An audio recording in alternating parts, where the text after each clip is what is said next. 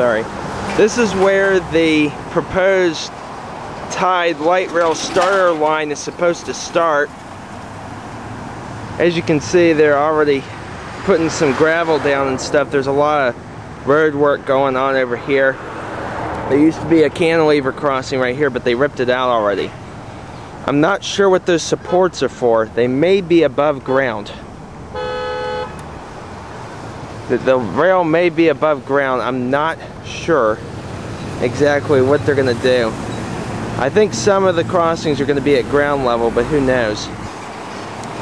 But it's very interesting seeing that they're going to put a light rail thing and I can't wait to film it, but it'll probably be 2010 before I get anything. But this is what the progress looks like so far.